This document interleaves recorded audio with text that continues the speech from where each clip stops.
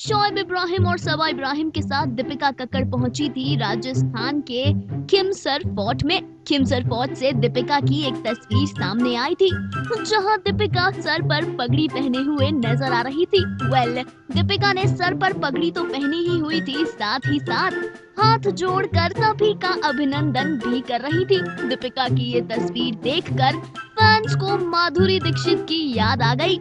Well याद दिला दें कि हम आपके हैं कौन में? माधुरी ने भी इसी तरीके की पगड़ी ही पहनी हुई थी।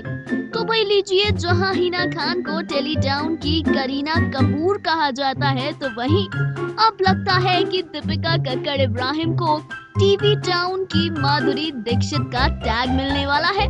फाइनल कट एंटरटेनमेंट डेस्क मनोरंजन से लेकर राजनीति तक अजब गजब से लेकर ऐतिहासिक तक।